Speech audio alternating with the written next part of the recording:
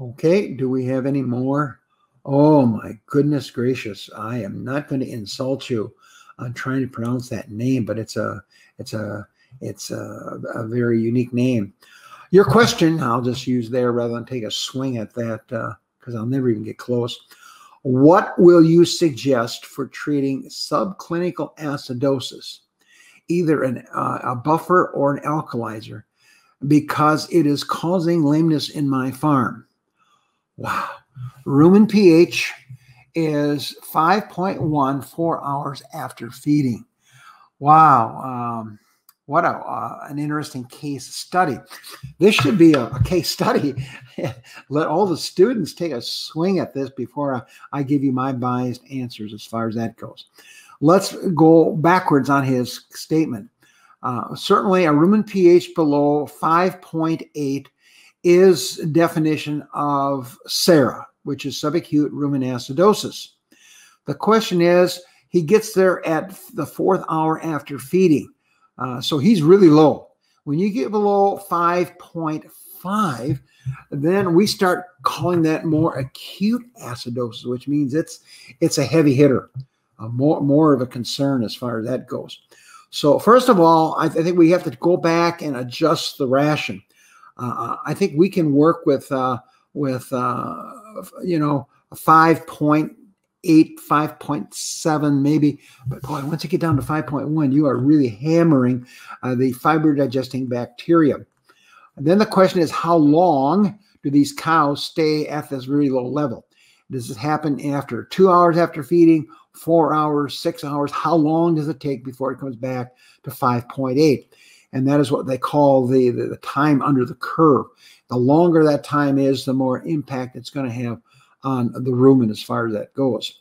So I think if we're at 5.1, uh, there are some bigger factors to look for in there before I start jumping in with with um, uh, a buffer or an alkalizer. Uh, my answer would be that I would be using both. Be using both. So remember, the buffer is going to try to pull that pH up around 6.25. That is the pKa. That's the, the point of dissociation. That's where it really buffers. That's what makes sodium bicarb so popular because it's hitting the sweet spot where we'd like to keep that rumen at. And that's, of course, why the, the amount of saliva being produced becomes such a key factor. Uh, the product you could look at, because I think it could be cheaper, would be sodium sesquicarbonate. And that's about half sodium bicarb and half sodium carbonate and the sodium carbonate would be the alkalizer there.